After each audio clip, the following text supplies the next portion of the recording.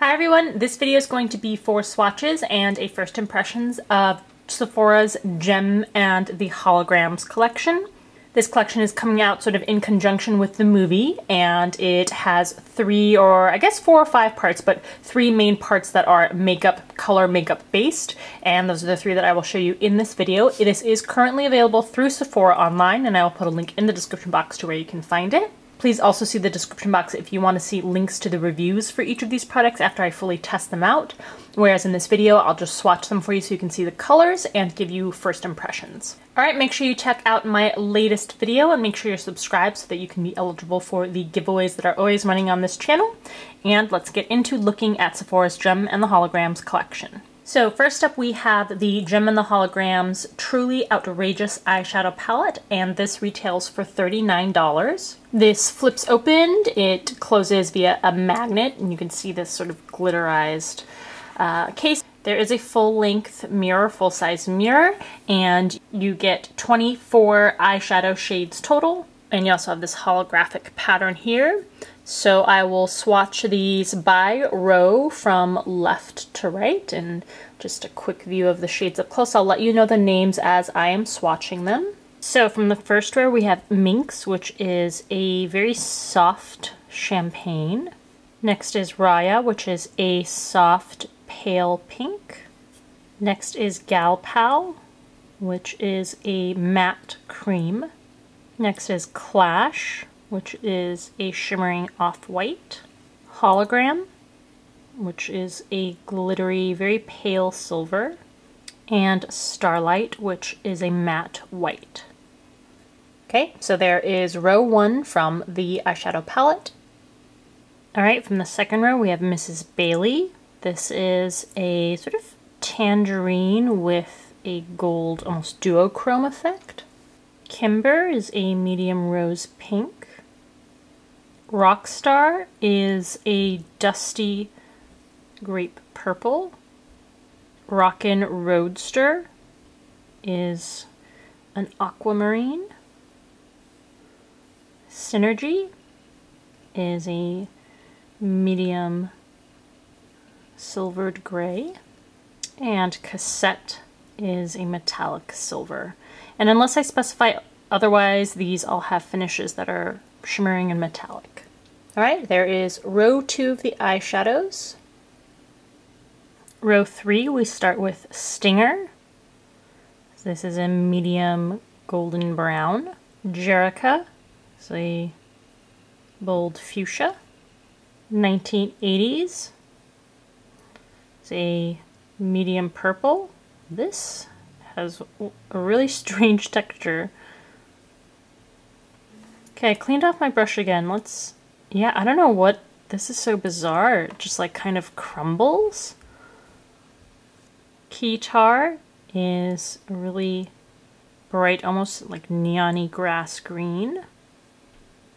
Rio is a very bright teal. And Stormer is a medium blue. All right, here's row three. And I forgot to mention, as always, these are swatched over primer. And row four, we start with Jetta. This is a medium milk chocolate brown with a matte finish. Jemstar is a deeper plum with lighter purple glitter. Shayna is more of a medium to deep grape purple with lighter purple glitter. Pizzazz is sort of like a silvered grade green. I don't know how to pronounce this. Is it Aja? It's spelled A-J-A. I'm sure someone will tell me in the comment below. Is a medium cobalt blue. And last is Misfits, which is a matte black.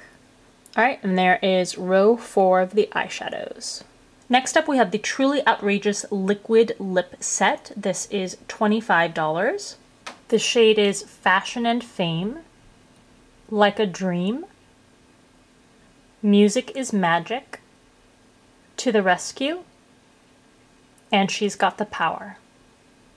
So here's Fashion and Fame. This is a holographic color. It has violet and silver and pink. Like a Dream is a creamy mauve pink. Music is Magic is a bright magenta or fuchsia. To the Rescue is a deep mauve rose. And She's Got the Power is a deep grape purple. Okay, here's what those shades look like after they have dried down. And last up is the Truly Outrageous lipstick, which costs $16. And here's what the shade looks like up close. Alright, and here's what the shade looks like. This is a medium fluorescent pink. It looks like it has sort of a violet flash to it also. So there you can see it up close. Alright, so there you have the Jem and the Holograms collection from Sephora. Let me know in the comment section below what you think. I actually kind of like the uh, liquid lipsticks set. I think that the colors are pretty good. The grape one doesn't apply so evenly, um, but the rest do. The eyeshadow palette definitely has a mixture of slightly different formulations, so a few of the colors are a little chalky and powdery, and again, I need to test them out actually applied to the lids to really give you a conclusory um, decision on what I think about the quality.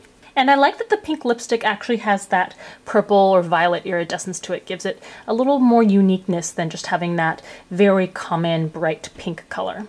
Alright, I hope this video was helpful to you. If it was, please give it a thumbs up, and if you liked it, as always, thank you for taking the time to watch this video, and I'll see you in the next one. Independently launch on Urban Decay's website, so if it's not available right now this day, it will be soon, don't worry. Um, but Cliff Notes thought, thoughts. The formulation of these pigmentation smoothness are very similar to the ones in the Kat Von D palette.